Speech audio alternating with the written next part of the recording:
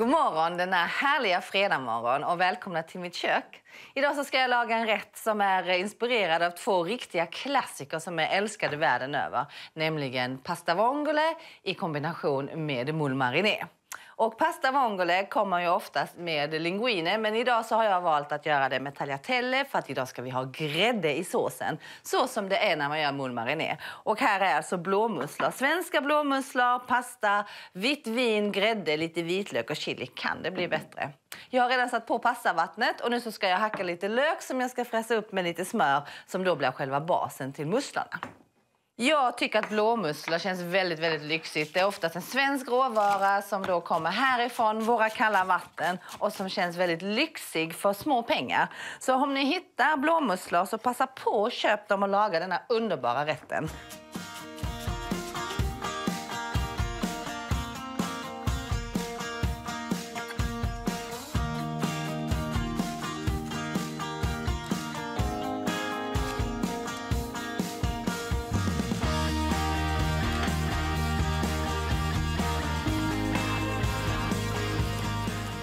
Hackad vitlök, schalottenlök och chili ska nu få steka lite mjukt i smör och det blir en bra grund för sen musslorna att bygga vidare på de här goda smakerna. Alltså det doftar väldigt gott i det här köket just nu. Och snart ska blåmusslorna i. Och alltid så måste man skrubba blåmusslorna i rinnande vatten ordentligt så de blir riktigt rena.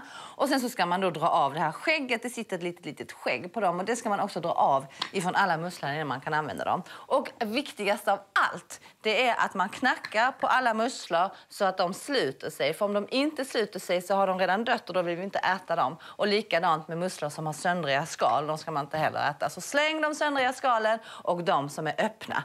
Och så har vi kvar de som fortfarande är stängda och det är de som ska få åka ner i pannan.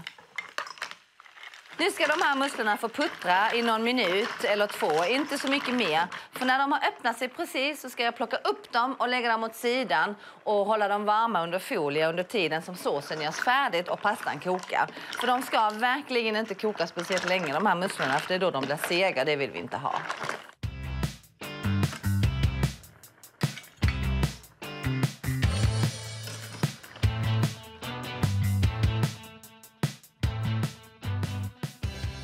Nu har alla musslorna öppnat sig. Jag lägger dem åt sidan och så ska grädden i här. Men det som är viktigt också att hålla koll på är att är det någon av musslorna som är stängda fortfarande efter att de har varit i pannan så här länge så måste de också slängas.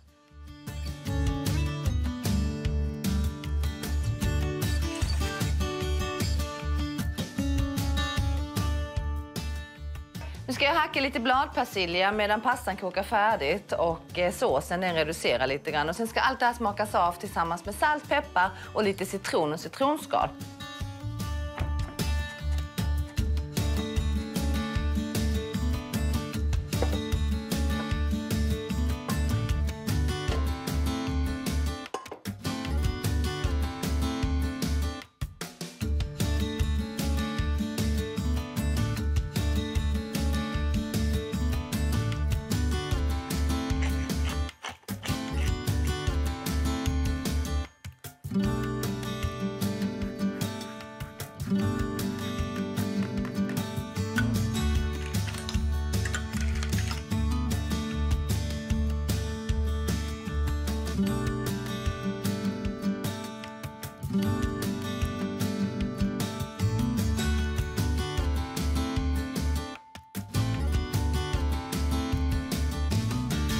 Middagen är klar och den här pastan som är helt ljuvlig och smakar så gott gör man på nästan nolltid. Och receptet det hittar ni på mittkök.se. Och imorgon är det pingst och då kanske ni vill göra brunch och då får ni inte missa Donald som är här och gör krock, en fransk klassisk macka. Ha en fin helg. Hej då!